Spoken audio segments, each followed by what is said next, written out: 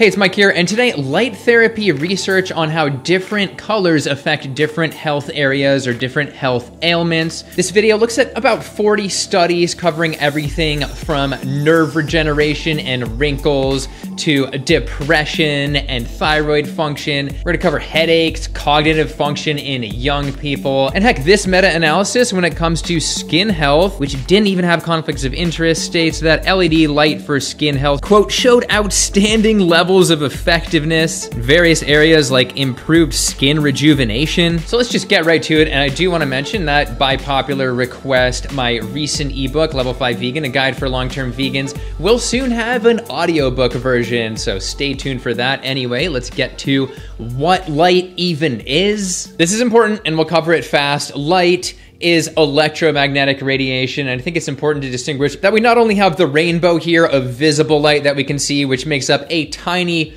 part of the spectrum of electromagnetic light, which covers everything from like X rays to gamma rays and others. But we also have that infrared and ultraviolet light that we can't see below and above our visible light spectrum that various animals can see, like pigeons that can see ultraviolet light exposing beautiful patterns on pigeons who would otherwise just be ugly and boring. And then we have cold blooded reptiles that can see that heat in terms of infrared light. And I had to wonder, why can't we see infrared light? Well, we are warm blooded, so our own heat might sort of mess with our sensors, giving us blurry heat vision. So we're just left with our good old friend Roy G. Biv, those colors of the rainbow. And one other important point that I think is good to think about as we go up the spectrum of light is that Blue light and our daylight is very stimulating. It's what we're used to getting midday. But then as the sun goes down and the atmosphere angle gets lower, just that red light gets through. And that's why all of our artificial light can be so harmful and why I use like redshift programs like f.lux. And as we get to the really good health research here in a sec, I just have to mention that because there's science on light being good, on one topic and one health area. It doesn't mean that they all work for all things. And I just want people to be aware of like light therapy scams that might be out there. You know, make sure it's backed up. And then also, a lot of these things are great adjunct or additional therapies to other medicine. I wouldn't just do light therapy and like reject all other medicine. Now you've heard that. Now that I've dissed all the claimers, we can start here at the bottom of the light spectrum, you know, below what we can see, but still used a lot in therapy with infrared light. Infrared has absolutely blown my mind with how many benefits there are, and I will say some of these studies you might see a combination of red and infrared light, so there's going to be a little bit of blurred lines there. But the interesting first topic is just how infrared light can affect nerve cells, which is incredible from this paper. Nerve cells respond particularly well to infrared, which has been proposed for a range of neurostimulation and neuromodulation applications with recent progress in neural stimulation and regeneration. Yes, from this paper, infrared directly promoted nerve regeneration, probably from, as they say, mitochondrial metabolism increasing. So it's like this infrared light actually hits the mitochondria or powerhouse of the cell, and it's like, I got some more energy to work with, let's ramp things up. And this has been tested in the realm of diabetic neuropathy, where nerves are essentially starved and you get pain and tingling. But but the results have been mixed from this first one. Infrared light was no more effective than the sham treatment for diabetic neuropathy, but to this second study, four treatments of photon stimulation resulted in significant improvements in some pain qualities, sensation, etc. Because of all this promising nerve info, a lot of researchers have been looking in the realm of animal studies for answers. I'm not a huge fan of these, and a lot of times they don't translate. But just to share some of what they've found using transcranial or through the cranium infrared light laser treatments, they found that they reduce the tau tangles and the beta amyloid plaques in mice, which are two hallmarks of Alzheimer's. And as I say, it appears to stimulate the brain sort of waste clearance as one mechanism, but we definitely need some human studies on that. But moving to humans, in terms of Parkinson's, which is essentially death of neurons in the substantia nigra part of the brain, which is connected to movement and dopamine. We have mixed results, but multiple pilot studies like this one have shown improvement in Parkinson's in terms of mobility, cognition, balance, and fine motor skill. With no side effects, but not a randomized control trial. It doesn't have any placebo group. Another relevant area here is traumatic brain injury, and we have this study, which gave people 10 treatments of infrared over two months and reported improved cognition, mood dysregulation, anxiety, irritability, headache, and sleep disturbance. But again, it was lacking a placebo group. And continuing along the lines of brain function, they just took healthy adults, shined infrared into their brain, and thought, are they getting any smarter? Did their cognition improve? And this time they actually did have a placebo or a sham group.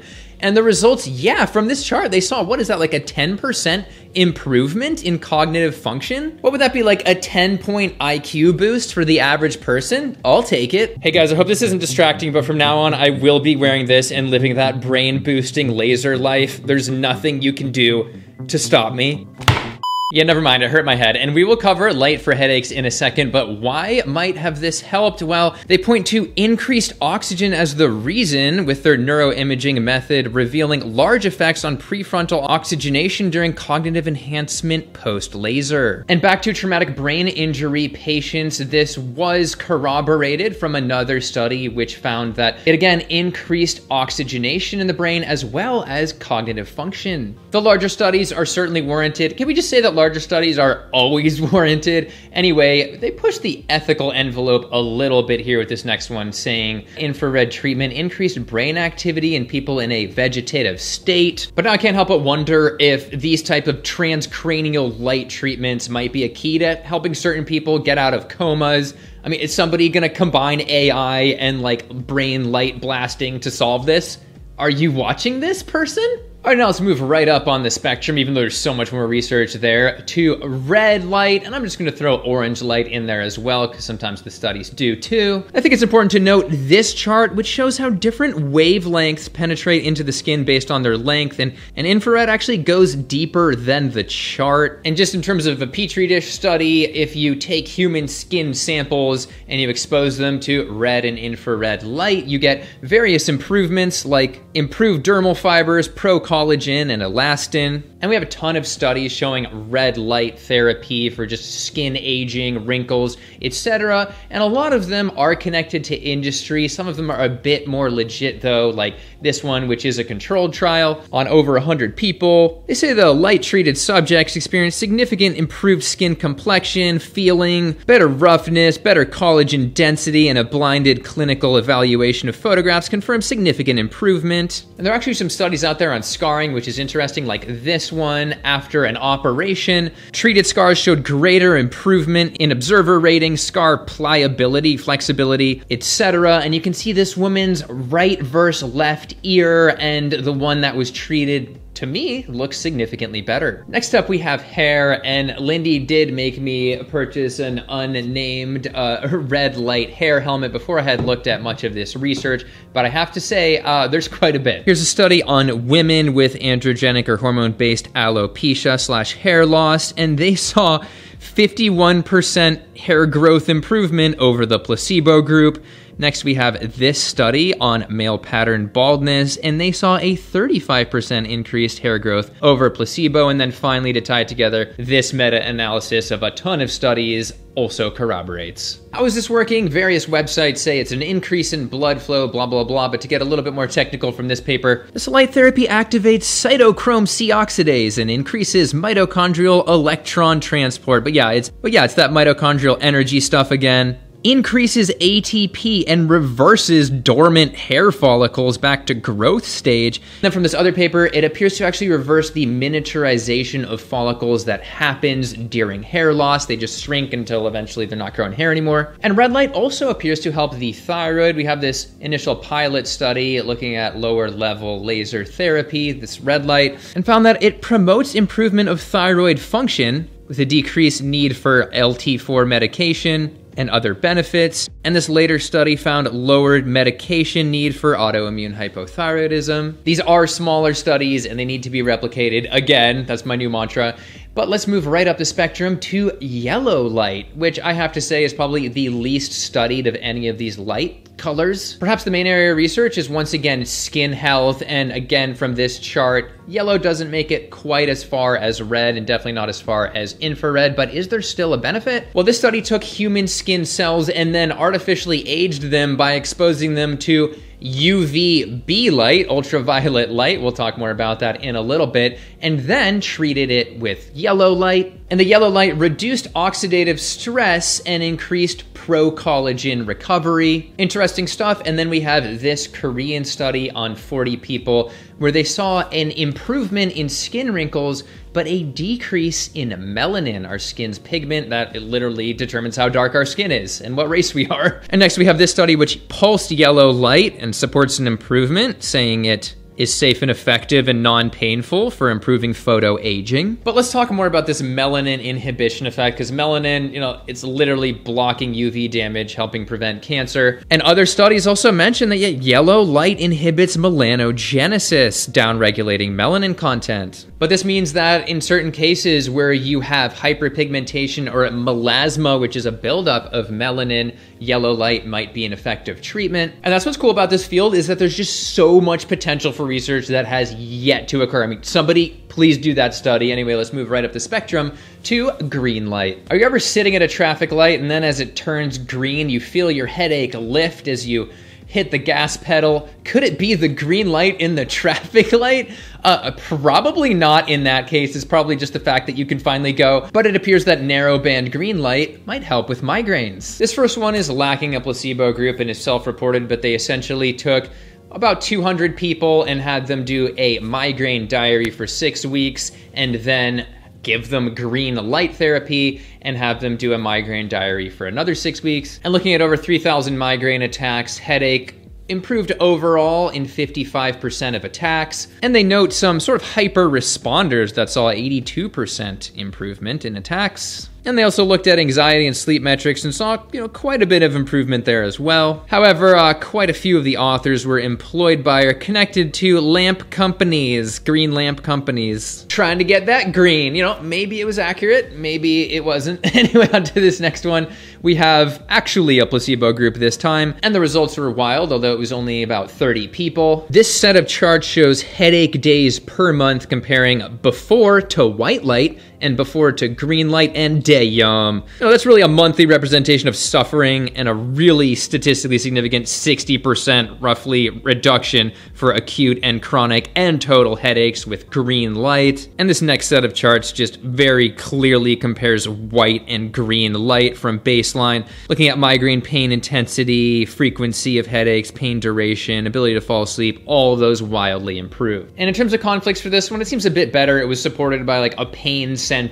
However, a couple of the authors have a patent pending for a green lamp. So now what could the mechanisms possibly be here? How could green light reduce headache intensity? Well, back to that original migraine study. The researchers say that the electrical signals that the eyes send to the brain are smallest in response to narrow band green light compared to other colors, and that electrical signals generated in the cortex from this green light are significantly smaller than other colors as well. So maybe it's just chilling the brain down a little bit. Anyway, what about actual pain if that is the case? Can we see any benefit? Well, annoyingly, we have another mouse study. Sorry about that. But these researchers do claim to have outlined the pathway in which green light reduces pain. And it's all complicated and we have so much to cover, but you know, maybe in the future, opioids could be reduced or even replaced with some green light therapy. But thankfully, we actually have some human related studies here in the realm of fibromyalgia and green light by the same researchers as that second headache study. And fibromyalgia is a sort of mysterious pain disorder that is often accompanied by some other bad symptoms like brain fog and inability to sleep. It wasn't huge at 21 people, but they had them do a white light or a green light period, and they had pain on a scale of 1 to 10, and they found that the green light dropped their pain scale from 8.4 to 4.9. Holy crap. And that's for white compared to green. And also, these charts show the types of pain that decreased, like stabbing pain down by half. And in terms of emotions and green light, we have a small pilot study where they tried white or narrow band green light in psychotherapy sessions and they found improved positive and decreased negative feelings in the green compared to white light. So our psychotherapy session begins now. Sit back in your seat. How does that make you feel? Annoyed because I'm not continuing on with the video? Next up on the spectrum is blue light, and this is again that midday intense blue that I feel like, you know, we have an evolutionary connection to. It's what we've been exposed to during the day. Probably not nice to be exposed to that when you're tired though. Well, that can make you pretty irritable and also, you know, exposing yourself to blue light from your phone at night not gonna be good. But I really don't think it's fair to call blue light bad, which a lot of people have, and why I see these so-called biohackers, you know, walking around all day with their sort of red tinted glasses, looking like idiots and drinking their butter coffee. Kidding, I don't really care about that that much, just that it could prevent an appropriate level of wakefulness midday. For a study, too much blue light can decrease the lifespan of fruit flies dramatically, and they believe it has to do with the stress response. This is not a surprise because walking into Walmart after 7 p.m. getting blasted by those bright overhead lights, it definitely feels like it shortens my lifespan. But again, not all bad, just to hop back into the land of petri dishes, exposing the insulin producing cells of our pancreas to blue light in a petri dish stimulates insulin secretion to the same degree as chemicals which are called secretagogues. So, notable. But perhaps the biggest study on this is a massive review looking at a bunch of other studies on how blue light affects young people and their cognition, their attention, etc. They say, quote, blue light exposure can positively affect cognitive performance, alertness, and reaction time. This could have sports benefits, but it could also have negative effects such as decreased sleep quality and duration. So it's about getting it when you need it, and I know going into like a school facility early in the morning and getting hit with those those fluorescent overhead lights, uh, yeah, that's not to help anyone, especially a prepubescent teen that needs 32 hours of sleep a day. anyway, let's get on to acne. Speaking of pubescence, this review on the topic mentions that, well, studies have been a bit lower quality so far.